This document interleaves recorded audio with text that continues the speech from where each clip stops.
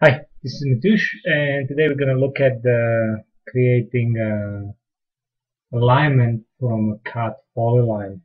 So all I'm going to do is uh, open a new project.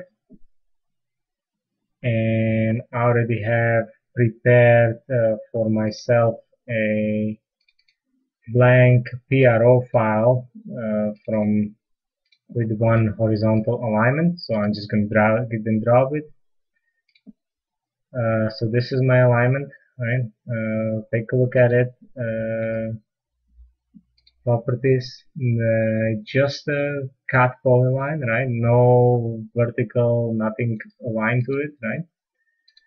So what I want to do right now I want to go to corridors create alignment give it a name let's say 19 Avenue create layer. Uh, I already have ramp 19 Avenue, so I'll just give it the same name. I hit OK. Now I have my horizontal alignment editor. So when I click on my polyline, I highlight it, make sure there is nothing else highlighted. Then I'll come here to this first box and right click it and hit append selected objects. Bang I get my alignment. Now you may find that there are a couple of discrepancies in millimeters.